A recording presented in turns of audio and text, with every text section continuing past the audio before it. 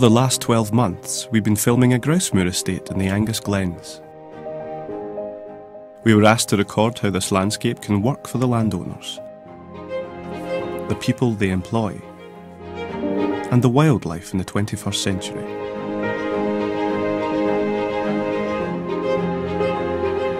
For the locals, it means employment, recreation, community. It's a place where scientists come to explore its biodiversity, its spectacles.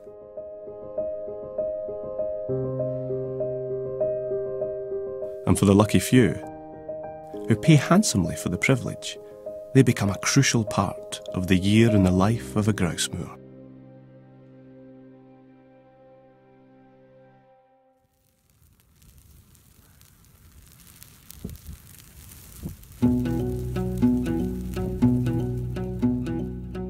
It's the end of February.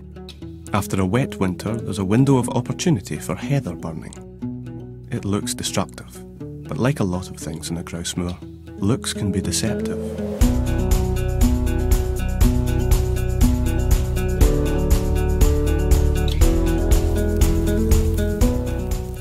It's all part of our habitat management. When the first heather comes through, it's where they come to feed. The next stage of heather, when this get going, it will be uh, somewhere for them to maybe nest. And then when it's getting a lot older, maybe eight, nine years old, and that's for winter feeding when there's, when there's snow on the ground and also when the predators are chasing, they've got somewhere to hide and take cover. We're lighting it with a, what we call a heather wand, a butane bottle screws into it, little ignition and it's away. Today, because it's not going very fast and it's well broken up, we're lighting it and then we're able to just cut the sides, each side, and it just runs into another fire. Actually, some of these fires run into wreaths of snow.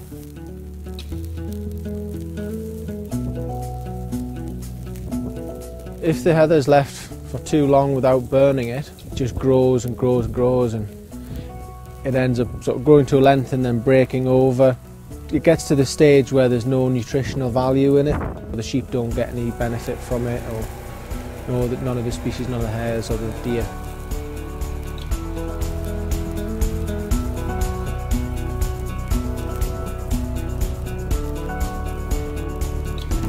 If you didn't burn it, it, the whole the whole area would be one long huge bed of heather and you know if God forbid if a I came along with a barbecue or whatever had a fire it got away you know you could lose the whole area in one go. So because we have it sort of broke up into little patchwork it stops the danger of like a wildfire taking out the whole area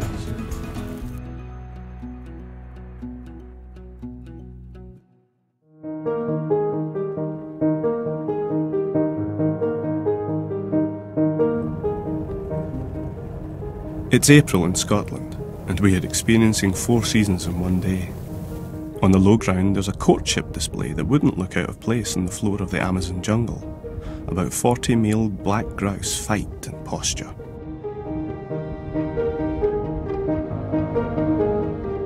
They're lecking, trying to attract the attention of the hens.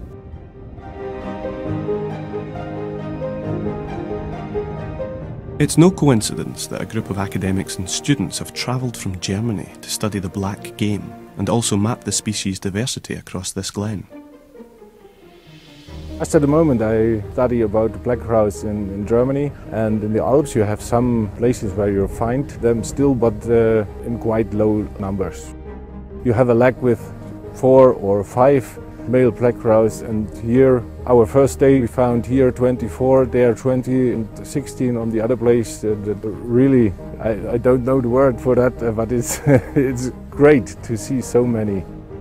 You, you won't find many places like this where you can show students such a, a number of, of different animals and uh, how many birds that you almost cannot find in other areas. Dr. Daniel Hoffmann is the Executive Director of Game Conservancy Germany. He's publishing a paper on his findings. Dr. Hoffmann understands the international importance of this part of Scotland, its fragility, and the species that depend on it for a nesting ground. When you will reduce the intensity of gamekeeping here, you will lose species. You still find heathers and the grasslands, but uh, the animals uh, will go two or three years maximum and then you will have many foxes here, you will have many stoats and weasels and so on. Then they reduce biodiversity and you have only some species in, in high numbers and other species in low numbers or, or even you lose them totally.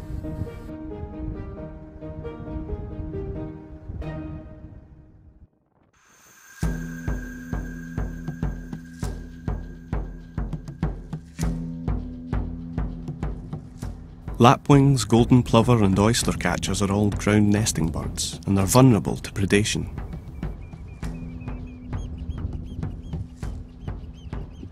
Just a few metres from the black grouse lek is a single egg in what can barely be described as a nest. It doesn't even need an opportunist crow or stoat to find it and destroy it.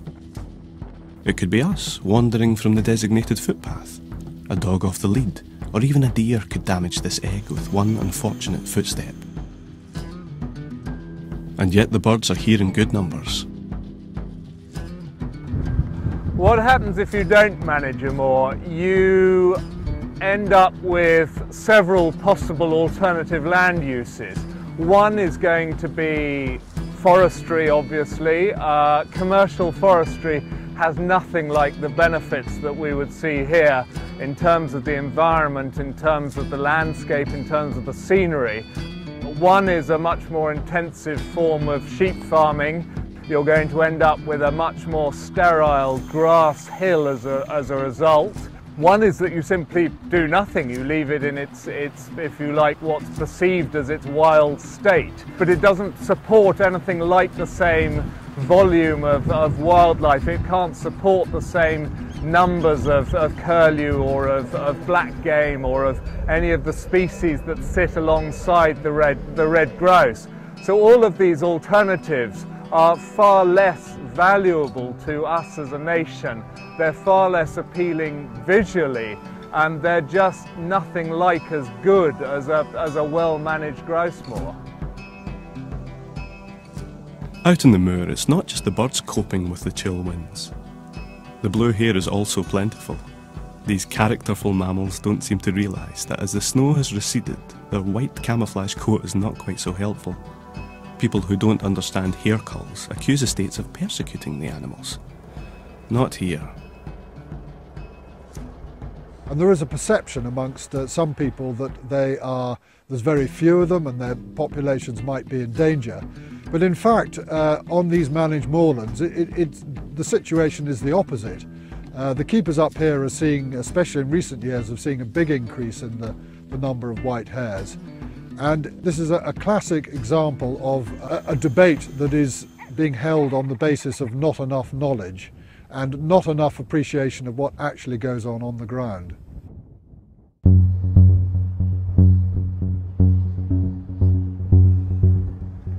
We return in June, and there's new life on the moor.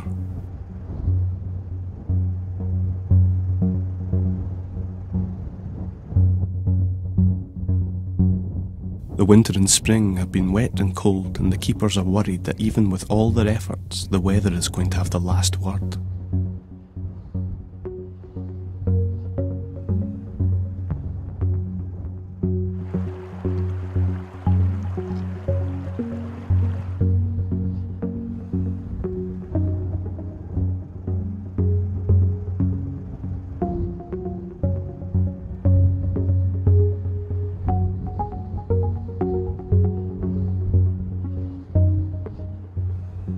There's plenty of work to do before the start of the season, which is just weeks away.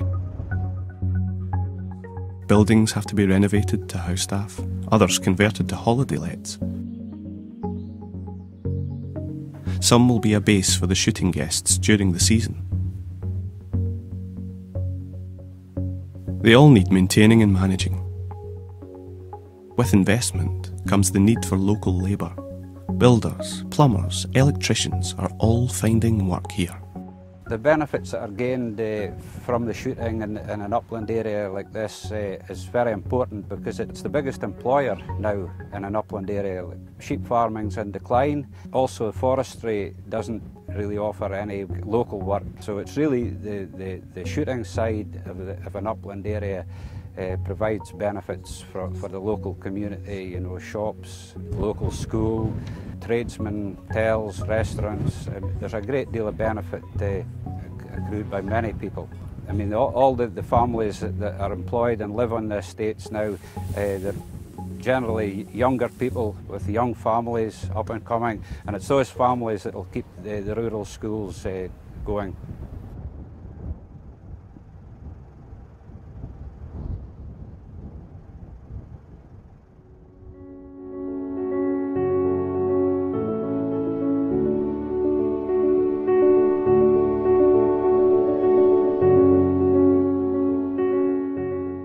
It's late August. This is the moment the estate has been preparing for. All the work behind the scenes is now centre stage. Whether it's the kitchens, the gun room, or on the moor, things have to be just right. One of the invited guests is George Digweed MBE, the multi world champion clay shot, and one of the best game shots in the world. He is offering some tuition prior to the big day. A grouse trap above them simulates the unique way a driven grouse will fly tomorrow. Where were you on that one? Beautiful. And again, not only can the guns that come up enjoy some practice before they go out, but also the keepers can come on here and absolutely fine tune their technique to be able to go out, whether they're shooting vermin, rabbits, magpies, whatever they're uh-huh. shooting on the estate, they're in a perfect place to be able to place that shot perfectly and make a good clean kill. The only thing you hit with that shot was me.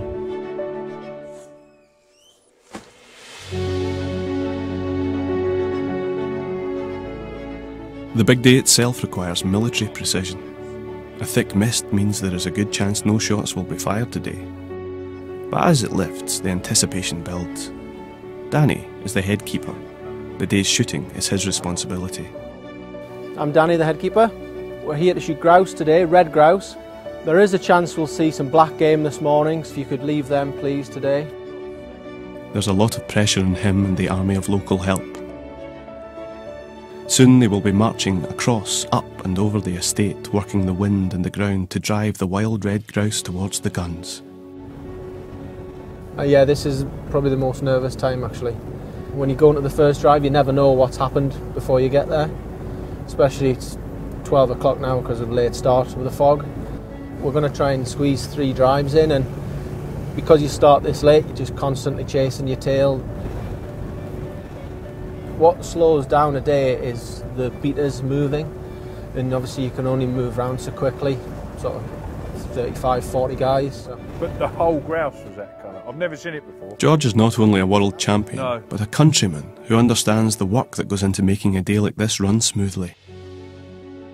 It's something you can't do regularly. We're privileged to be able to do it, but you've seen the amount of people that are involved and how it brings a community together, and I think that. Uh, to be part of that, whether you're a gun, whether you're a flanker, whether you're a beater, whether you're picking up, is, uh, is a fantastic thing for the sport that the whole of that community is brought together under the, under the common goal of shooting and conservation. And uh, you know, you can't do this regularly. We certainly haven't got any heather in Sussex, so for us to be able to come up here and shoot, you know, driven grouse, albeit, you know, how big a day you ever shoot, just to be on the moor is a privilege.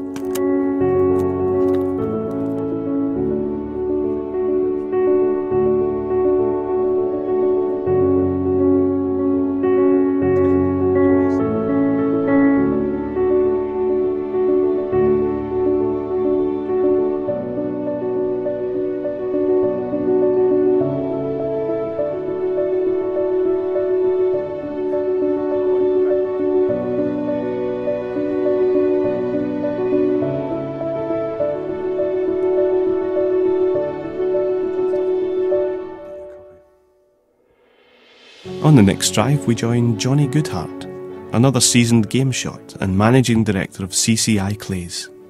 The only thing you can see man-made are roads, one wagon at the top dropping off the beaters, and what else? Nothing. Glorious. Very privileged and very spoilt beyond more. It's just one of the great, great sports of this country.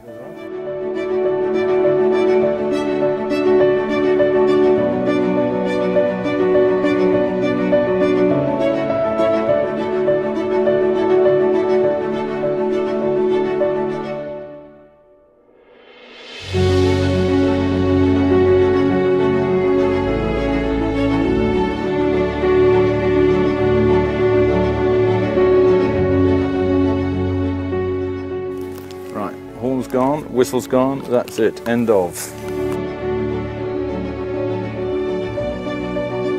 Look, look, at- look at this line of beaters here. I mean, how can you fail not to appreciate it? Thank you very much, well done. Brilliant, that's very kind. Thank you very much indeed. Cheers, thank you. Well done. Oh, shit. That's well, Don't I've hit that. that Don't worry, I'll, I'll, I'll have it. That's fine. I'll, I'll grab it.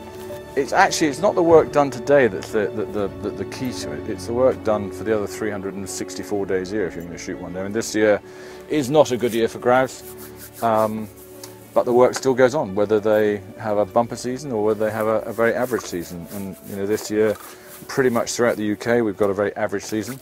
But the work still goes on, and you, that's the stuff you don't see. And I, you know, I take my hat off to these keepers.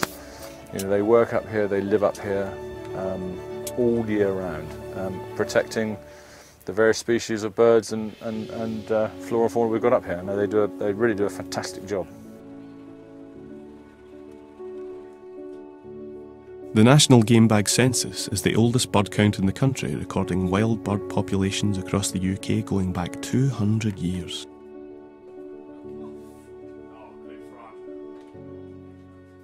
It's all part of the management plan.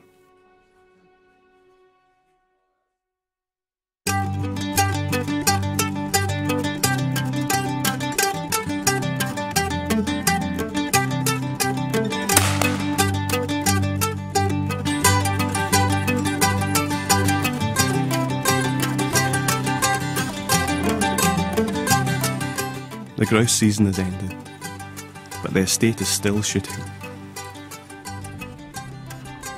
The focus has shifted from the very tops of the moor to the lowlands and the pheasants and partridge. Up, up into the wood, Okay. and we'll yeah. kind of push up so far up. then Oh, I mean, all, all low ground shoot is as important as the uh, the grouse to uh, the owner and the community really. Um, the grouse season finishes middle of uh, December, but generally we pack up mid October, late to late October, and then that's when we get into our pheasants and partridges.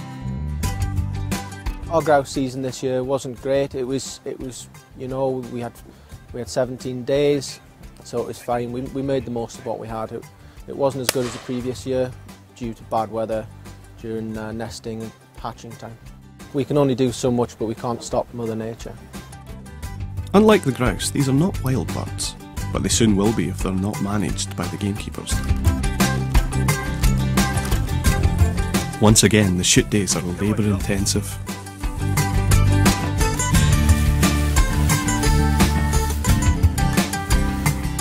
The beaters gather early at the bothy before being taken by lorry to the first drive.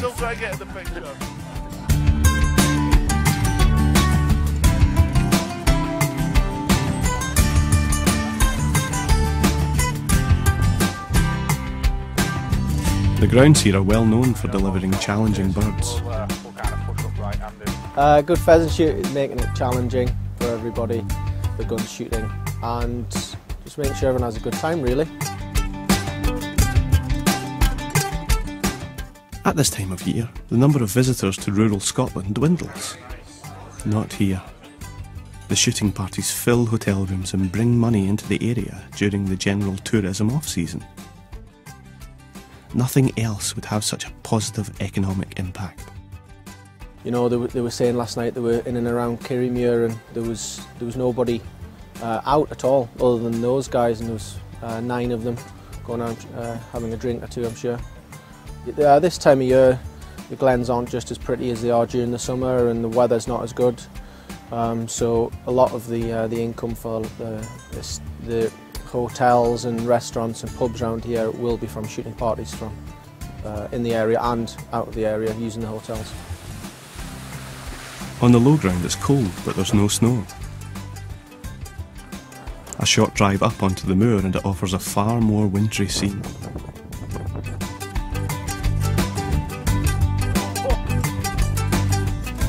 The impressive blue hare numbers mean that a group of falconers have been given permission to hunt in the estate. Golden eagles, native to this part of Britain and hardwired to hunt hares. It's an impressive sight.